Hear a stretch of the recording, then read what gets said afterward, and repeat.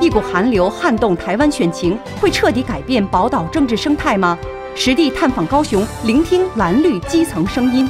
星岛日报美西版社长梁建峰，星岛中文电台政论主持何仁，星岛中文电台政论主持汤玲，三人将联决亲下高雄，直播台湾九合一选情，